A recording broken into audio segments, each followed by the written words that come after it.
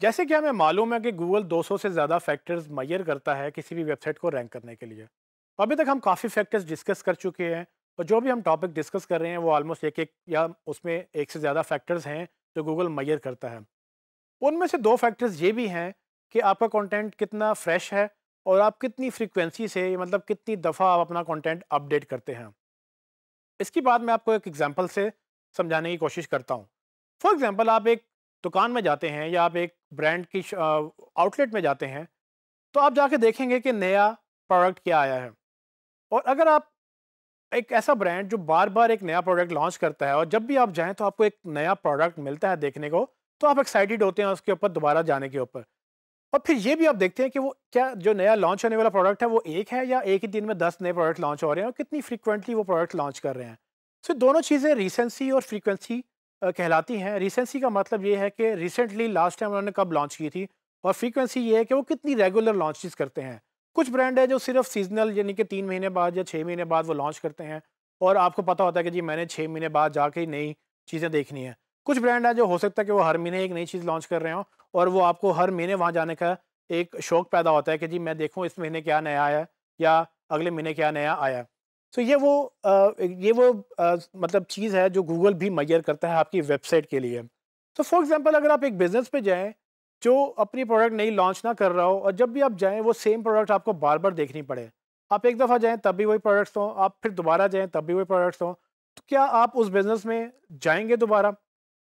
I don't think so सो कोई भी बंदा वो बार बार चीज़ एक चीज़ देखने नहीं जाता उसको हर बार एक नई चीज़ चाहिए होती है चाहे वो कपड़े की दुकान है चाहे वो जूते की दुकान है या कोई भी आप और बिज़नेस करते हैं तो वो लोग बार बार एक नई चीज़ एक्सपेक्ट करते हैं।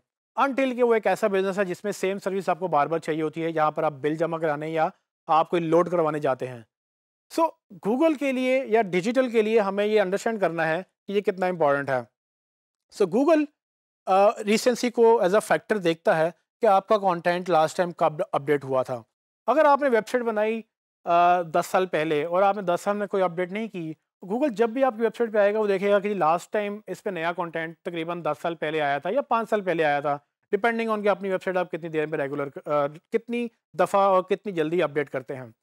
पॉइंट ये है कि गूगल चाहता है कि आप फ्रेश कंटेंट डालें। फ्रेश कंटेंट डालने का मतलब क्या है कि आप हर दूसरे दिन, तीसरे दिन जितनी आपकी कैपेसिटी है, आप नया कुछ ना कुछ गूगल को दें। ताकि जब भी वो आपकी वेबसाइट पे आए, उसको नया कुछ मिले। अगर उसको नया कुछ मिलता रहेगा तो गूगल बार बार आता रहेगा। गूगल बार बार आने का मतलब ये है कि गूगल आपका सारा कंटेंट इंडेक्स करेगा और गूगल में शो भी करेगा। इससे फ़ायदा ये होगा कि आपका नया कंटेंट गूगल में आ जाएगा और जब लोग कुछ कीवर्ड सर्च करेंगे, जिसके अगेंस्ट आपने वो कंटेंट क्रिएट किया था, वो उनको मिलना भी शुरू हो जाएगा। गूगल आपको पेनलाइज इस तरह से करता है। अगर आप अपना कंटेंट ना डालें वो बार बार आपकी वेबसाइट पर आना बंद कर देता है। अगर वो जब भी आए, उसको सेम कंटेंट मिले तो वो दोबारा देर बाद आएगा। और अगर फिर उसको वही सेम कंटेंट मिले तो वो दोबारा एक और गैप लंबा गैप देगा, उसके बाद आएगा। वो करते करते एक वक्त ऐसा होगा कि वो महीनों आपकी वेबसाइट पे आएगा ही नहीं, क्योंकि उसको ये पता है कि आपकी वेबसाइट पे कुछ उसको नया नहीं मिलेगा। लेकिन इसके बरक्स अगर आप ये देखें कि न्यूज़ वेबसाइट्स में जैसी खबर अखबार में पब्लिश होती है, वैसी गूगल में सर्च भी हो जाती है। इसका मतलब ये हुआ कि न्यूज़ की वेबसाइट में चूँकि कंटेंट बड़ा फ्रिक्वेंटली और बड़ी तेज़ी से अपडेट होता है तो उसका हर दफ़ा कंटेंट कुछ घंटों पहले ही पोस्ट हुआ होता है या कुछ मिनट्स पहले ही पोस्ट हुआ होता है। तो एक तो उसमें रिसेंसी बहुत होती है कि अभी अभी पोस्ट हुआ, जब भी गूगल आता है उसको कुछ नया मिलता है, फिर एक उसमें ये भी चीज़ बड़ी काउंट होती है कि उसमें कितना कंटेंट पोस्ट हो रहा है। अब चूँकि न्यूज़ का बिज़नेस ही कंटेंट है तो वो दस, पंद्रह, बीस तो बहुत कम बात है, तकरीबन पचास, साठ आर्टिकल मे बी सौ आर्टिकल्स भी हर रोज़ पब्लिश कर रहे होते हैं। सो गूगल जब भी आता है तो उसको सौ नए आर्टिकल इंडेक्स करने को मिलते हैं जिसकी वजह से वो उन वेबसाइट्स को ज़्यादा जल्दी क्रॉल करता है और कुछ ही मिनट्स में वो फ़ौरन सबको क्रॉल कर लेता है। सो so, ये चीज़ अंडरस्टैंड करते हुए हमें भी अंडरस्टैंड ये करना है कि हमारे बिज़नेस के लिए रिसेंसी और फ्रीक्वेंसी ये दोनों चीज़ें कितनी इंपॉर्टेंट हैं। रिसेंसी यानी कि हमें फ्रेश कंटेंट हर वक्त चाहिए और फ्रीक्वेंसी यानी कि हमें बार बार कंटेंट डालना है। तो हम हर हफ़्ते, हर रोज़ या हर महीने एक फ्रीक्वेंसी सेट कर लें, ताकि गूगल जब भी आए, उसको पता हो कि ये वेबसाइट लाइव है। सवाल यहाँ पर ये उठता है कि हमें गूगल को बार बार अपनी वेबसाइट पर क्यों बुलाना है? क्यों हम रिसेंसी और फ्रीक्वेंसी को फोकस करें? वेबसाइट बन गई है तो क्या फ़र्क पड़ता है गूगल आए या ना आए?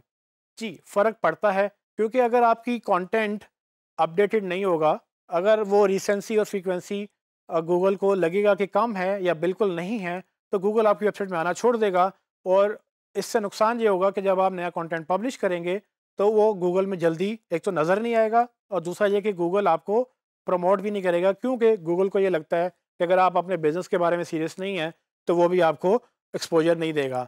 और ये और भी चैलेंजिंग हो जाता है जब आपका कंपेटिटर सेम बिज़नेस में सेम कंटेंट बहुत ज़्यादा फ्रिक्वेंटली अपडेट कर रहा है। सो so, जब वो फ्रिक्वेंटली अपडेट करेगा गूगल उधर ज़्यादा जाएगा और उसको ज़्यादा प्रमोट करेगा। लेकिन इस सब में हमने एक जो चीज़ मिस की वो थी यूज़र्स। तो यूज़र्स भी अगर आपकी वेबसाइट पर बार बार आ रहे हैं, उनको वही पेजेस सेम मिल रहे हैं, उनको कोई नया कंटेंट नहीं मिल रहा तो भी आना छोड़ देगा। क्योंकि उसको पता है कि जब भी वो आएगा, उसको वही चीज़ मिलेगी। लेकिन अगर आपका कंटेंट रोज़ अपडेट हो रहा हो और यूज़र को कुछ नया देखने को मिलता हो तो बार बार आएगा, उससे आपका जो है वो एक ट्रैफ़िक भी बढ़ेगी यूज़र एक्सपीरियंस भी बढ़ेगा और अगेन वो पॉसिबिलिटीज़ भी बढ़ेगी कि वो दूसरे लोगों को भी बताएँ कि जी ये वेबसाइट है जो रेगुलरली कंटेंट अपडेट करती है और वो नया कंटेंट ऐड करती है। तो रिसेंसी और फ्रीक्वेंसी देखने में तो शायद इतने इंपॉर्टेंट नहीं लगते हैं, इसका शायद डायरेक्ट एस पे इम्पैक्ट भी नहीं होगा, लेकिन ये इनडायरेक्टली बहुत इंपॉर्टेंट रोल प्ले करता है, क्योंकि अगर आपका कंटेंट अपडेट नहीं हो रहा और एक फ्रीक्वेंसी के तहत नहीं आ रहा तो गूगल आपको डिमोट करेगा यूज़र आपको छोड़ के चला जाएगा और अल्टीमेटली आपकी एस जो एक्सपर्ट्स हैं, वो फ्लॉप होना शुरू हो जाएँगी।